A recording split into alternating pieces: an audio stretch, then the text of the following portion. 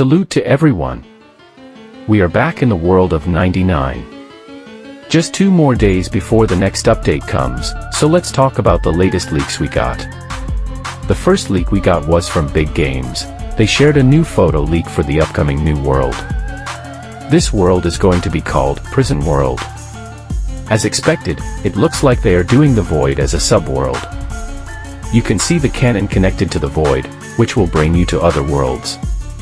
As you can see, there are only four eggs, which means it's similar to PSX. Also notice that the wall requires breaking breakable instead of coins. It looks like this would be a unique feature for the Void worlds. What do you think? Next is the new upcoming Mimic enchant, and this is probably the substitute enchant for those who don't have chest mimics. It's called Superior Chest Mimic, from its name, we can expect it's better than Chest Mimic. But does this mean you need to sell your Mimic for these?